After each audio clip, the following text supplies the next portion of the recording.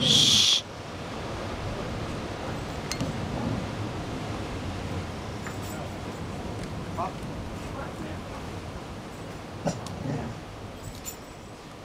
Get it tight, Sean. Come on.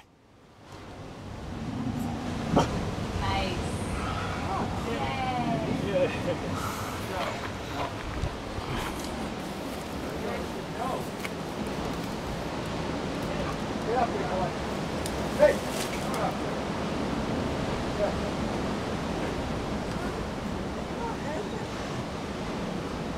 Breathe.